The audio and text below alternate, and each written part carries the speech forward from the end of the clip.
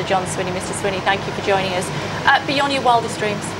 Yes, bluntly. Uh, even when I saw the exit poll last night, I thought that can't possibly be correct. Uh, but when I saw the first result, and I saw that our candidate, well now our MP in Kilmarnock, Alan Brown, had polled 30,000 votes and had a swing of the order of 30%, I realised that we were in for an absolutely transformational night in Scottish politics and I'm so proud of my 56 Westminster colleagues who will be coming down to make up the third largest party in the House of Commons as a consequence of what's been a really positive election campaign and a very positive and compelling message put forward by Nicola Sturgeon in the election campaign. What are you going to do with those 56 seats? Cause havoc? Well, no, what we're going to do is do what we promised, which is to make sure that Scotland's voice is heard loud and clear here in the House of Commons.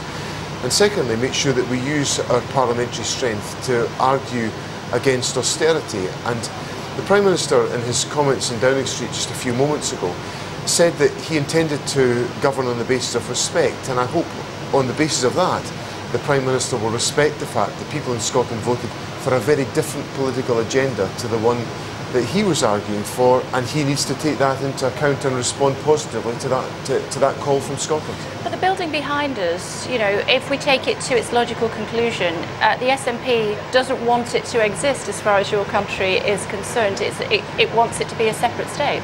But we accept, we had a referendum last September, indeed we discussed these issues the night after we lost the referendum in September. We accept the fact that we didn't win the referendum and we are not planning to have another referendum. So this election... That's a little porky pie, isn't it? No, it's not. That's, that's exactly so it's not going to be in the manifesto for the 2016 we, we we're not planning, Scottish election? We're not planning no, no, a referendum. No, that, that's, my question is, are you saying it's not going to be in the manifesto? Because well, what you are likely to say, if what you're going to say is, we have got a mandate because the fact we've got 56 seats. So as a result, the Scottish people have said they, they once again want to have a look at a, an Indy Ref 2. No, we won't see that because what we made clear before the election uh, was that no matter how big our result was in the election that took place yesterday, there is nothing that would come out of that election that could be used to justify the holding of another independence referendum. And the First Minister said, and she, she wasn't making a prediction at this time, she said, look, even if we won every single seat, we wouldn't use that as a justification. Now, we didn't win every single seat, but we, nears did it.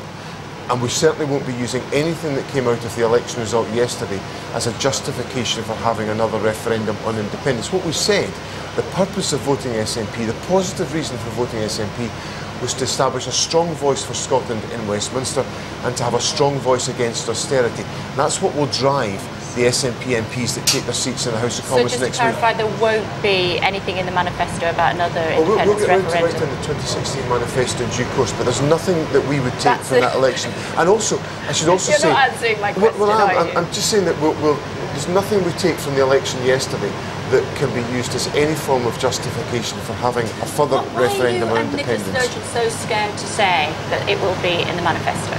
Well, we, will we'll come to write our manifesto in due course. We've just written one manifesto and been very successful in the prosecution of that manifesto and commanding wide public support within Scotland. And in due course, we'll turn our mind to the 2016 election manifesto for the Scottish parliamentary elections. But I can give you the guarantee today that there's nothing that we will take from the election yesterday that will be used to justify a second referendum on independence. But given that you feel that the Conservatives are not a party that you can do business with, then you have 50 odd seats, you are the third biggest party, you can cause havoc, can't you? We've always been constructive parliamentarians, uh, and first and foremost, my 56 parliamentary colleagues from Scotland, the SNP MPs, their duty today, now, right away, is to serve every one of their constituents without fear or favour, regardless of how they voted. And they've got to now start start delivering that on the not ground. a lot of blue up there in Scotland, in the, there, in is the, there?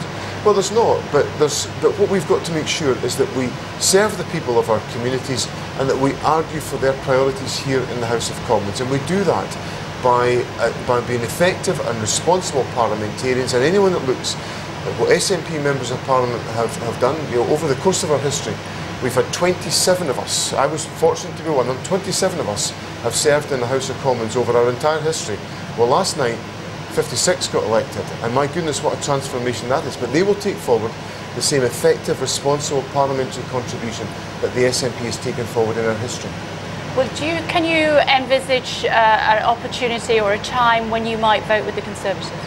But the, I'm, I'm sure there'll be issues that will come forward that will command wide parliamentary support, and the SNP on the issues that come forward will support causes and issues that we believe to be important legislative changes. You know, if the Conservatives were to bring forward a proposal to put the minimum wage up to £8.70 by 2020, which is what we've argued for, it'd be kind of strange if we didn't support that.